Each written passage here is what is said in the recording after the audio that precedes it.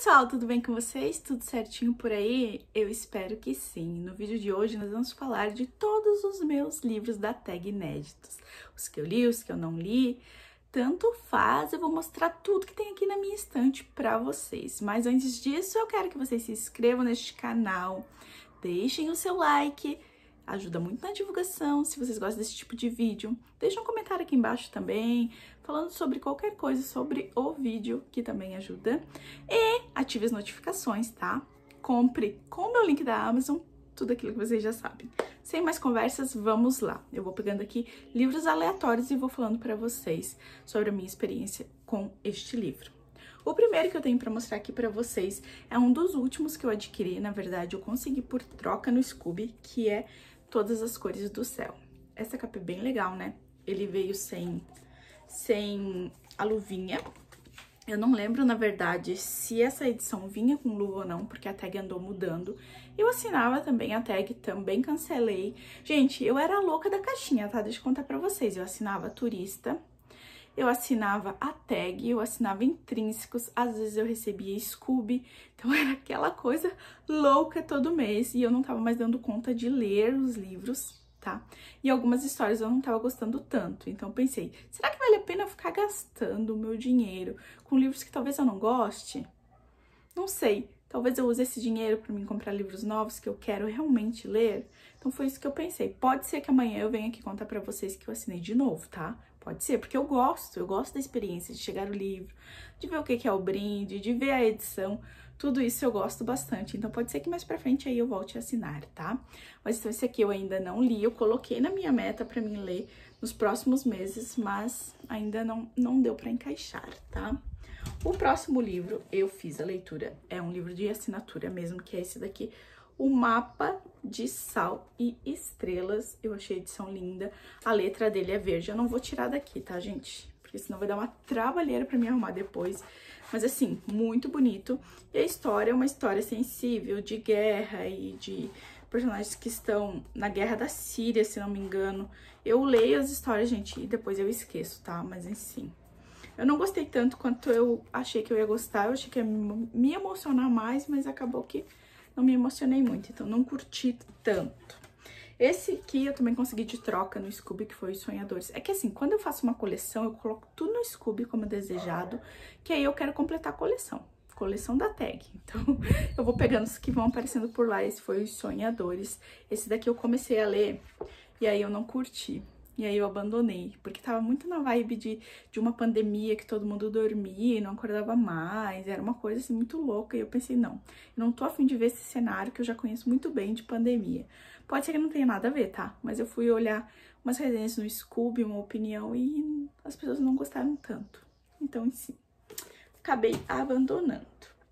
Próximo livro, esse daqui eu li, foi um dos meus favoritos, que é o Fique Comigo, é um livro que fala sobre maternidade, sobre casamento, sobre a, o papel da mulher, assim, é um livro que aborda muitos temas interessantíssimos e tem umas coisas pesadonas aqui, gente. Nossa, eu achei um livro muito bom. Eu dei quatro e meio, eu acho.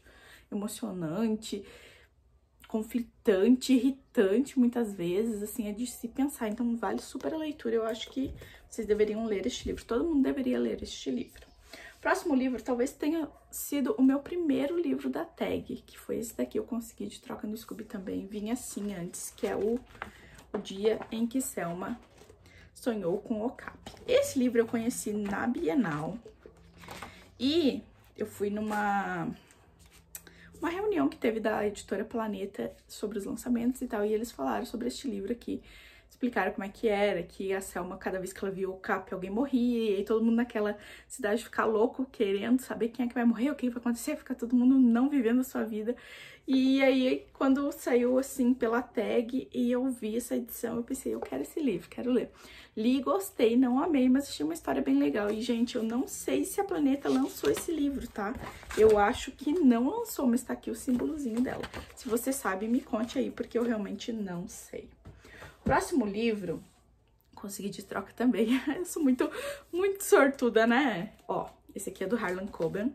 É apenas um olhar, virou um dos meus favoritos dele. Eu não dava nada pra esse livro, eu peguei bem sem pretensão. Peguei ele, foi quando quando eu fiz um mês temático de Halloween, acho que foi, foi em outubro, que eu pensei, vou ler só thriller e suspense, tudo nessa vibe. E aí eu escolhi ele e achei muito bom, realmente. Super recomendo pra vocês, é um livro muito, muito, muito legal, tá? Próximo livro, deixa me ver qual é. Ah, e esse aqui dispensa comentários, né? Evelyn Hugo. Nossa, eu consegui essa edição. Eu adoro essa edição também. Eu adoro as duas, a capa comercial e essa aqui, mas essa aqui é a minha favorita. E é um livrão, né? Taylor Jenkins Reid, minha autora favorita também, então, sem comentários. Próximo livro, eu tava super empolgada, querendo descobrir como era essa escola de contos eróticos para viúvas, que é este livro aqui. E assim, gostei, mas achei que não se aprofundou tanto, mas toca em temas legais, assim, ele tá virado. e assim, fala sobre a mulher, sobre também a tag tem disso de tirar a gente da zona de conforto e, e, debater uns temas bem legais, assim. Então esse aqui também é uma vibe feminista ali, tá? Próximo livro, uma edição linda também. Esse aqui foi o meu último livro da tag assinado. Foi a última caixinha que chegou aqui em casa. É do mês de janeiro de 2021. Acho que é isso. É da Frida Kahlo, ó. Não estão falando muito bem desse livro. Quem leu achou que não se aprofundou muito não curtiram tanto e eu realmente não tive vontade de ler, então eu acho que vou acabar não lendo. Mas essa edição tá lindíssima, né? Próximo livro eu li, que é esse daqui, O Jardim de Bronze, que eu acho que é de novembro de 2020. Eu esperava bem mais desse livro, assim, o ritmo até que foi bom, mas chegou uma hora, enrolou demais, umas coisas de... Des... Ai, tudo virado, gente, arrumei tudo errado umas coisas bem desnecessárias, assim, meio machista. E aí o cara tem um esporte ali que mistura o esporte, que não tem nada a ver que ele tá em busca da filha dele que foi sequestrada. Então tem umas coisas muito viajona aqui, tá? Próximo livro, eu não sei se eu gostei ou desgostei, que é esse aqui, A Vida Secreta dos Escritores. Já saiu pela, deixa eu ver como é que é o nome da editora. É a editora LPA. L, não, LPM Editores, já saiu, já tem a versão comercial deste livro. E é um livro interessante, assim, a gente é totalmente enganado. Então, se você gosta quando o autor te engana, esse livro é pra você, tá? Eu não sei se eu gostei ou desgostei, eu tô igual o aquele Por Trás dos Seus Olhos, que eu terminei e fiquei, gostei ou não gostei de ser enganado? Gostei disso ou não? Não sei. Acredito que, que é um livro bom, né? Se traz algum sentimento pra gente, assim, nem que seja de raiva, de amor, de dor, alguma coisa mexe com você, é porque é um livro bom. Próximo livro, Cartada Final, do John Grisham. Esse autor é super consagrado, porque ele tem uns livros, assim, de tribunal, sabe? Mas eu não curti muito. Eles estavam tentando achar, achar umas pistas para um homem que foi preso injustamente. Eu acho que é isso. E assim, nossa, o ritmo dele não foi legal para mim, mas muita gente gostou. Então, fica a dica para quem gosta desse tipo de livro, né? É, vamos ao próximo, deixe-me ver o que eu tenho aqui. Esse daqui é o Querido Edward, que é um livro que tá todo mundo comentando super bem também. Eu, assim, é um livro sofrido, é, é um livro de uma criança que perdeu toda a sua família num acidente de avião e eu acho que ia me emocionar mais. Tem alguma coisa que eu não curti tanto. Na verdade, os personagens que estavam no avião, a visão deles, eu não tava me interessando muito. Eu queria ver mais da história do Edward mesmo. Então, assim, foi isso que não me fez gostar tanto. Então, assim, vocês estão vendo que tiveram muitos livros ou que eu não gostei ou medianos, né? Esse daqui é O Carrossel Sombrio e outras histórias do Joe Hill. Eu li todo, li também no mês temático do Halloween. E eu não gostei muito. Achei muito viajado, não curti muitas histórias, assim.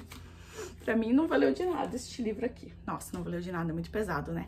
Valeu pra conhecer a escrita do Joe Hill. Tem um, um, um conto que é com o pai dele, o Stephen King. Então, assim... Mas não, não me acrescentou em nada, sabe? Era como se eu não tivesse lido, então... Fazer o quê? Próximo. Minha adorável esposa. Aquele básico livro clichê de thriller. O que, que é um clichê de thriller? O pessoal que é casado, o pessoal, né? O marido e a mulher são casados, a gente não sabe quem tá falando a verdade, se é ele, se é ela, quem que é o louco da história ali. Então isso aí acontece em muitos thrillers, tá? Então isso aí tá virando um clichê de thriller também. Não existe só clichê de romance. Existe clichê de fantasia, existe clichê de suspense, de thriller, então existe clichê de tudo que é tipo de livro. E a gente já tá meio cansado, já, essa história já tá meio batida, né? Então foi isso que eu encontrei aqui. Minha adorável esposa. E o último que eu tenho para mostrar para vocês é o Sol Mais Brilhante. Esse aqui foi no mês de maio. creio que foi o primeiro livro que eu comecei a assinar. Eu não assinei muitos meses a tag, vocês viram, né? Esse aqui fala a história de três mulheres que tá interligado. Elas é da Nigéria, se não me engano. É um livro legal, interessante, mas que não levou a nada no final. Eu não achei que, que ele teve um final muito interessante, assim. Enfim, não curti tanto este livro, mas é um livro bom, tá? Então, o que, que vocês percebem com todos esses livros que eu li aqui? Que ou eram livros medianos ou eram livros ruins. Poucos livros foram os meus favoritos. Vou mostrar para vocês os meus três favoritos. Evelyn Hugo, dispensa comentários. Apenas um olhar do Harlan Coben e O Fique Comigo, tá? Então, esses aqui são edições que eu adquiri depois, não, não são nem edições que eu estava assinando. Então, eu achei que não estava compensando, não estava valendo a pena para mim. E os piores, não sei. Esse aqui eu abandonei, não posso falar. Não li todos. Talvez o Carrossel Sombrio não foi tão legal, porque também não é minha vibe, né? Talvez quem goste desse tipo de história vá gostar, tá? Qual outro que eu não achei tão bom? Vamos ver, vamos ver, vamos ver. Cartada final eu não achei tão bom. E Jardim de Bronze, eu não achei tão bom também. Os outros foram medianos. Mas assim, às vezes me dá uma saudade de assinar tag. Ai, gente, às vezes eu fico, ai, que legal esse livro que veio. Eu fico olhando os unboxing, ai, eu queria. Ao mesmo tempo eu penso, ai, mas eu vou gastar esse dinheiro. Então, assim, não sei, tô indecisa, tá? Queria que vocês comentassem aqui se vocês assinam a Tag Inéditos ou assinam algum outro clube de assinatura. Comente aqui embaixo e me conte qual é o seu livro favorito da Tag, que tem na Tag ou que já lançou depois que você acabou lendo em outra edição. Então, comente aqui pra mim e vamos conversar, tá? Um grande beijo e até mais!